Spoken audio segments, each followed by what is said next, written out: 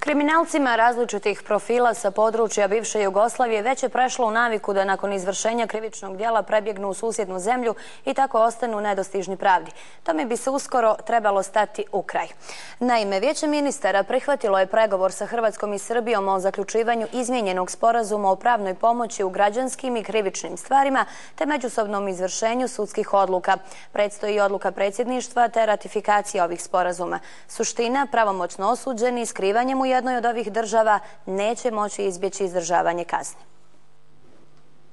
Dosadašnja praksa po kojoj se pravomoćna presuda mogla izbjegavati prebjegom u neku od ovih zemalja mogla bi biti okončana do kraja godine. Procijenjuje se da će dotada i sa Hrvatskom i Srbijom biti potpisani sporazumi čije je osnove za pregovore usvojilo vijeće ministara. Ni ovim nećemo imati standard zemalja koje primjenjuju evropski uhidbeni nalog i izručuju pravdi svoje državljane.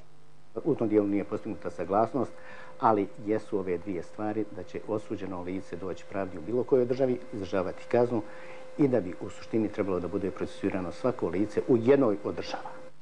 Odsluživanje kazne pravomoćno osuđenih po našem važećem zakonodavstvu ne uključuje osobe kojim se sudilo u odsustvu. Sudeći po svemu i izmjenjeni sporazum, ostavlja prostor da se od pravde i dalje skrivaju i Jelavić, Glavaš, Bender, Šimić i mnogi drugi koji su prebjegom izbjegli pravosnažnost presuda. Pa ne znam baš njihove statuse, ali koliko znam da nisu oni pravosnažno osuđeni. Ovo se odnosi na osobe koje su pravosnažno osuđene.